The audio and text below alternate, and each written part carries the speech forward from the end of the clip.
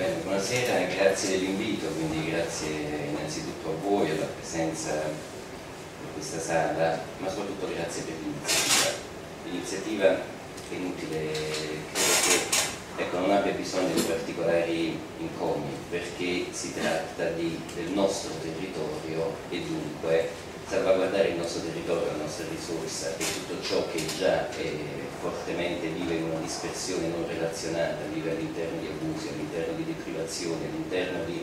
continue acquisizioni indebite, ovviamente in questo momento è fatta dagli architetti ed è su questo che poi vorrei soffermare, ecco, fatta dagli architetti, da tecnici, fatta da ecco, tutti coloro i quali sono tecnici qualificati per lavorare, per, per, per, ripensare, per progettare la nostra città, acquisisce certo un valore molto importante. Quindi grazie per l'invito e anche grazie per l'iniziativa. Quello che mi interessa sottolineare, in quanto per primo innanzitutto sono un architetto, ecco, mi interessa sottolineare due aspetti, vale a dire il livello di collaborazione nei confronti dell'amministrazione, che ritengo essere una scelta civile molto importante e con questo, ecco, perché molto spesso questo genere di iniziative vengono, ecco, questo genere di iniziative viene visto come una sottrazione da parte dell'amministrazione a quelle che sono delle proprie responsabilità, a quelli che sono dei propri doveri. Invece io resto, ed è stato sempre il mio percorso anche personale eh, di scelte, di, di, di vita, resto convinto che le cose non si possono più fare assolutamente in maniera unilaterale, in maniera ecco, diretta soltanto in un senso, è chiaro l'amministrazione ha una serie di responsabilità e non si ritrae in alcun modo dalle proprie responsabilità, però io penso che, come mi rivolgo chiaramente innanzitutto degli architetti,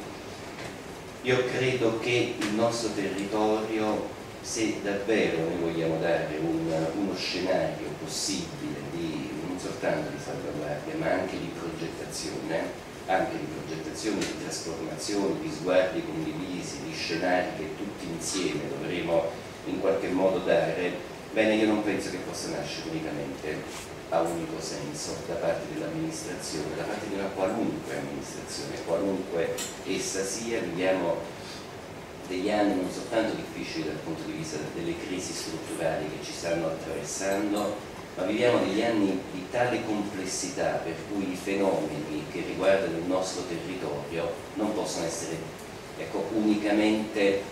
visti da un unico punto di vista. Uh, nel nostro DNA noi sappiamo che gli architetti hanno non soltanto una capacità di lettura, ma una lettura associata ad una trasformazione immediata dei fenomeni con i quali abbiamo a che fare, dunque se si tratta di un fenomeno quale questo diciamo, dell'antiabusivismo e dunque di prevenzione, dunque di lotta, senza dubbio, ma ripeto, la trasformazione del territorio non può che essere comune, non può che avvenire tutti insieme, ognuno nei propri ruoli, non vi è dubbio, ma ecco, costruire un'opera collettiva e il territorio è un'opera collettiva. Questo è il primo punto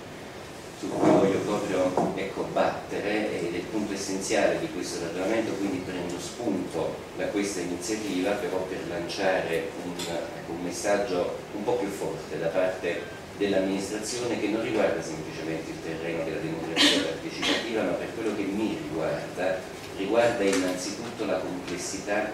dell'architettura, la complessità delle lente, ecco, di tutte le, le, lente sedimentazioni sul territorio, le trasformazioni improvvise, cioè tutto questo non può essere unicamente affidato ad un'amministrazione, noi qui come, eh, ecco, non è un discorso di categoria, ma gli architetti sanno quanto sia importante la collaborazione, le istituzioni sanno quanto sia importante una leale cooperazione tra enti, associazioni, istituzioni, il territorio non è soltanto l'opera di alcuni, è l'opera di tutti e quindi poi su questi temi io credo che sarà necessario, assolutamente necessario incontrarci. Grazie.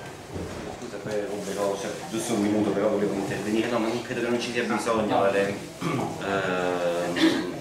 No, per i due interventi che sono stati fatti prima, io anche sono convinto, ma avremo altro modo e altre occasioni anche per parlarne, anche io sono convinto che esista abuso e abuso, sono convinto, d'altra parte queste cose sono in studio oggi e sono anche sotto osservazione, ma anche in ambito scientifico, anche nelle università e su questo si ragiona moltissimo, ma avremo un'altra situazione, non è questo il,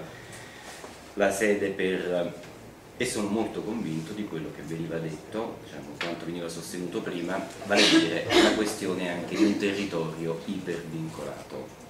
Non sempre le, diciamo, i vincoli sono garanzia di tutela, non a caso le sovrintendenze non parlano mai di vincolo, ma parlano di normative di tutela, però quando noi iniziamo a stratificare una rete tale, una rete tale Ecco, questo è un dibattito che lo si è condotto soprattutto negli anni Ottanta, sul finire degli anni Ottanta noi sappiamo anche che non è garanzia di antiabusivismo. Quindi, e su questo io invito proprio gli architetti, cioè, e li invito molto, non è, eh, è perché andiamo a monte così anche delle questioni dell'abusivismo, perché a valle, e io ringrazio molto anche la presenza qui, del,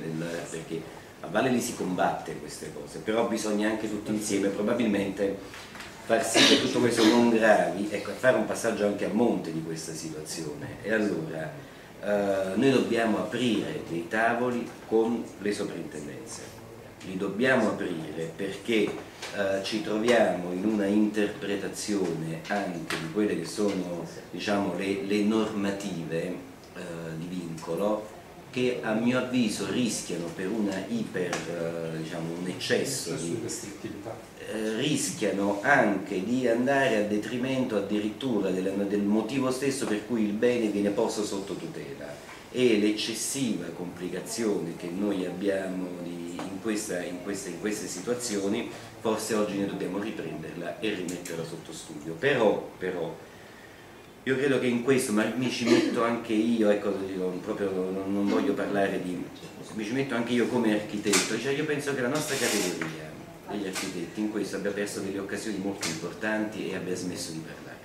Abbia smesso di parlare perché eh, noi dobbiamo lavorare su che cosa oggi debba essere il concetto di un vincolo dinamico che consente alle città di poter entrare, parlo della città di Napoli, entrare a pieno diritto dentro la contemporaneità, di non vivere dentro delle immagini di cartolina soltanto, di non vivere dentro unicamente una condizione di monumentalità che viene a tutti i costi eh, rilanciata perché noi sappiamo che tante cose anche che sono scritte all'interno dei piani regolatori noi vincoliamo una serie di cose ma se poi andiamo a guardare che cosa stiamo vincolando, alle volte vincoliamo perfino abusi edilizi. Allora noi forse su queste cose dobbiamo tornare a ragionare e, e invito in questo un lavoro davvero degli architetti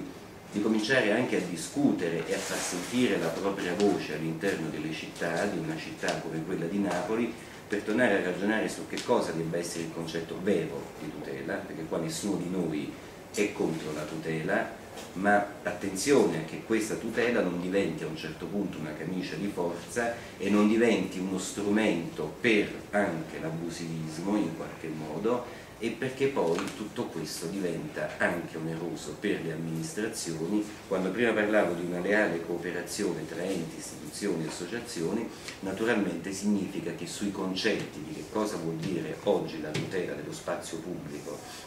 la tutela dei monumenti, bene, su questo anche noi dobbiamo poter dire la nostra e quindi invito in questo senso un lavoro congiunto e invito anche gli architetti a far tornare a sentire la propria voce perché gli architetti hanno sempre potuto dire tanto su queste cose, a un certo punto, ma metto me come architetto innanzitutto al centro di questa discussione, abbiamo un po' perso l'abitudine anche a intervenire nei dibattiti pubblici, a dire la nostra, a proporre anche delle revisioni non esiste soltanto l'aspetto della ecco, repressione, quello ci deve essere, però dobbiamo fare attenzione che ecco, non affidarci soltanto alle repressioni. Scusate, questo è l'intervento, ma l'intervento colpisce, per cui grazie.